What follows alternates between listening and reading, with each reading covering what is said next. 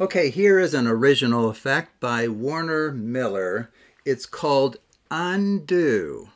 And I will add a link in the description below to his original performance. So if you want to take a look at that. I will also add a link to his entire library of ebooks that contain hundreds of mathematical card effects. So certainly take a look at those. I will also add a link to something called HyperCOATings, which is the quote randomization process that we're going to use within this routine that I've kind of added to Werner Miller's original routine. And so if you want to understand HyperCOATings and how they work, take a look at any of the links below that take you to performances in which that idea is used. Okay, so for this, you ideally need two spectators. So we'll say spectator A and spectator B. Okay. Now, uh, each of them just need uh, four random cards. They can choose them. That truly is the case. Four random cards. Now, what they're going to do, you have them each look at their card, their top card, that is. Look at their top card. Note their top card and then switch the placement of those cards. So spectator A puts their card here, spectator B puts their card here. Okay. Now what I thought we would do just to keep things, um, you know, not too complicated to help you kind of see what's going on. Let's say the top card for spectator A is the ace of diamonds. And for spectator B, it's the two of diamonds. Okay. So they would note those. They don't see each other's cards nor do you as the performer, of course. And then they would just set them down on the opposite pile, just like that. Okay. Now you as the performer, just stack the left on right. Don't make a big deal, just do it. And now we're going to randomize these cards by offering the spectators a choice of any one of the remaining 52 cards in the deck. Okay. So you could have either spectator, if one feels strongly about doing this, that's fine. Have them randomly reach in here and grab any one of these cards. So maybe they grab uh, this one right here, okay? And so that's the card we'll use to randomize this packet of eight cards. And the way that we'll do it, let's take a look at it. it looks like it's the ace of clubs. What we're going to do is we're simply going to spell out the eight clubs in the following way. E I G H T O F C L U B S. Okay. Now, since there's two of you here, why don't we do it a second time? E I G H T O F C L U B S. Okay. I think you would have to agree that the ordering of the cards could not have possibly been anticipated by anyone, including myself, given the fact that you, or one of you at least, randomly chose a card name for us to use to thoroughly mix this packet of eight. Okay, now from here, all we're going to do is something that some people claim is a magical shuffle.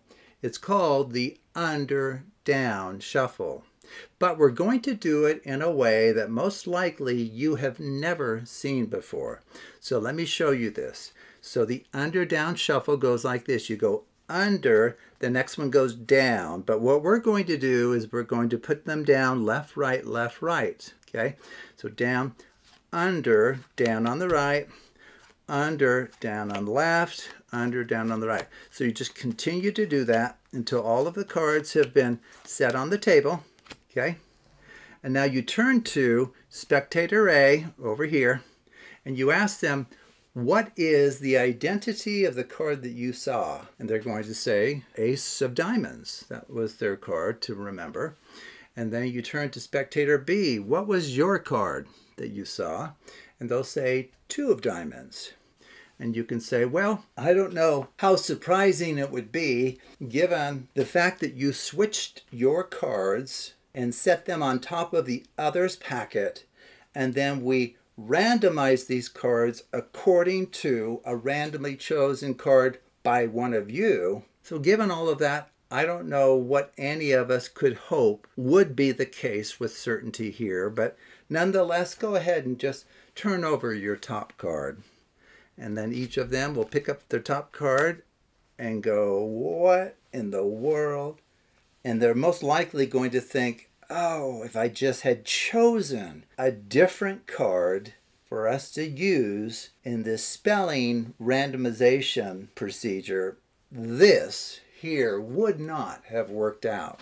Well, the fact is it would have worked out. So let's quickly kind of talk through that. Okay, so if you do what I've shown you here, this will work for you every time. Uh, the only thing I really need to explain, besides the you know procedure I showed you, is Werner Miller's procedure, which is incredibly creative and it will work every time. Uh, this suppose randomization is an idea that I introduce on my channel. It's called two identical HyperCOATings. Okay, so let me just explain how this works. So we can even kind of go back to where we were, but with a packet of eight cards, it is the case, if you take a look at the information in, in the description below, that you can use any of the 52 card names and spell them out twice, and it will return this packet to its current organization. So it'll return it to its current order, okay? In fact, maybe we'll just show it with the top card here, not changing. So here we have two of diamonds on top. So if we choose any card, four of diamonds, and you just spell out F-O-U-R-O-F-D-I A-M-O-N-D-S, and then do it a second time for the second spectator. F-O-U-R-O-F-D-I A-M-O-N-D-S the packet will be returned to its original order. In particular, the two of diamonds has been returned to the top, as well as all of the cards below it have been returned to where they started. Okay, so that's probably the only additional subtlety that I need to explain to you, but this idea of two identical HyperCOATings in the way that I'm using it here will work for any packet size 8, 9, 10, or 11.